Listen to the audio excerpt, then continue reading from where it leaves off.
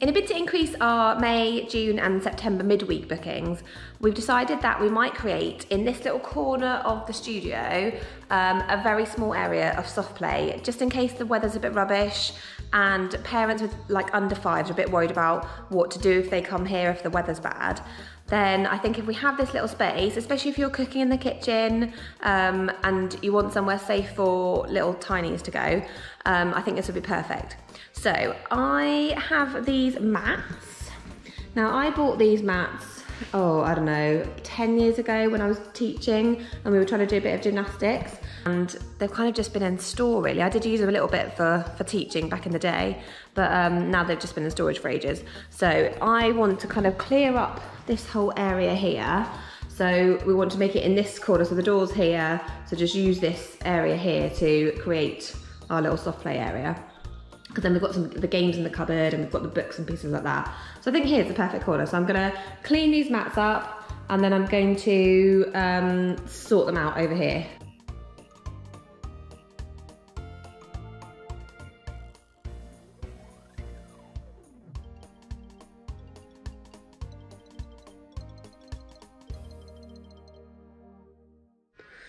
Okay, so I've got my little corner. We've also ordered a ball pit, which hopefully will go in there or, or I might swap it around. And then the other set of soft play we have bought is this. So it's just a set I bought off eBay. It's cost around £90.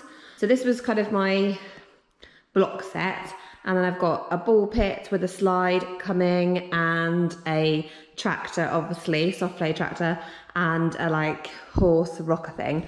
I was trying to vaguely keep it in the like the farm theme, but um, yeah, you can't really hide soft play, can you? It's just generally in your face. Check it out, my new soft play has arrived. Um, I'm guessing this is the tractory thing, and this is the ball pit, but I don't even know if it comes with balls. So let's go to the studio and have a look.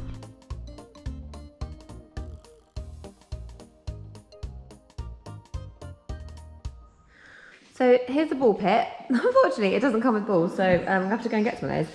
But it's really well made and it's it velcros really nicely together. Um, so I'm pleased about that. So you can hopefully climb up, slide into the balls, albeit there be no balls. Um, and then I got this rocking horsey type thing and obviously the tractor. If they'd had a cow, I would have totally got a rocking cow, but they didn't, they only had a horse. I figured that was the most in keeping more than like, I don't know, sea creatures or whatever. So now I just need to figure out how to situate this within this space, which I haven't quite figured out yet, but um, we'll have a go.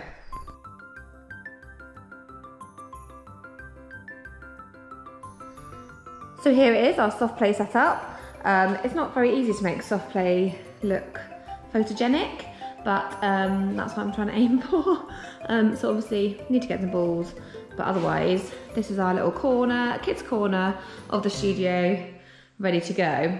So the ball pit and the horse and the tractor are all from a company called Implay. Um, so they just manufacture soft play and it cost around £300 for this kit. Um, for these for these three items and it was free delivery so um, yeah I'm, I'm really pleased with it I think it'll go down a storm so I just went and picked up some balls from Facebook Marketplace um,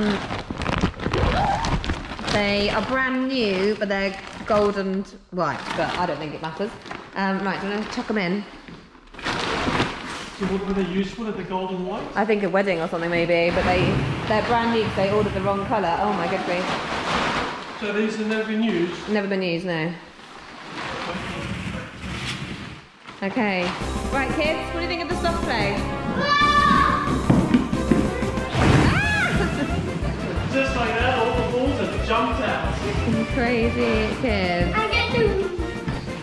So, you like it?